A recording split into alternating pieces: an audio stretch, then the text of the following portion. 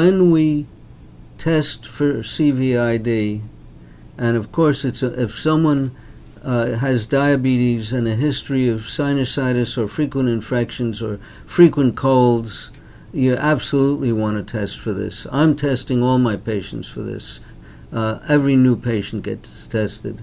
But in addition to testing for the three immunoglobulins, we also get a blood smear for examination by a hematopathologist looking for blood malignancies because it seems that the most common malignancies that people with CVID get are uh, non Hodgkin's lymphoma, uh, leukemia, usually lymphocytic leukemia, um, and things that you can spot in the blood. So we get a blood smear from a finger stick.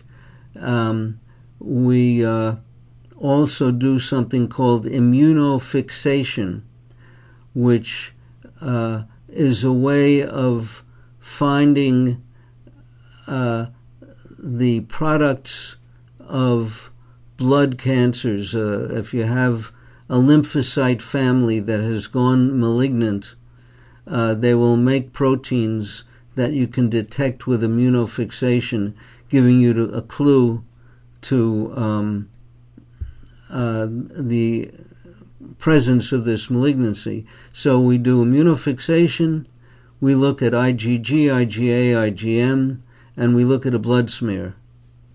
And uh, that's how we make the initial diagnosis.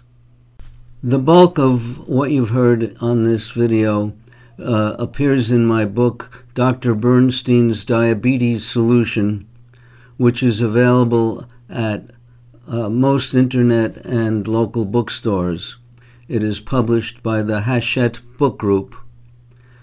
I'd like to remind you that we have monthly free teleseminars every month at the site askdrbernstein.net.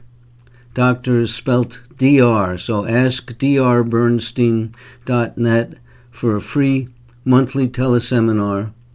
Uh, sign up a day or two in advance so that you get a reserved seat. Good luck and thanks for listening.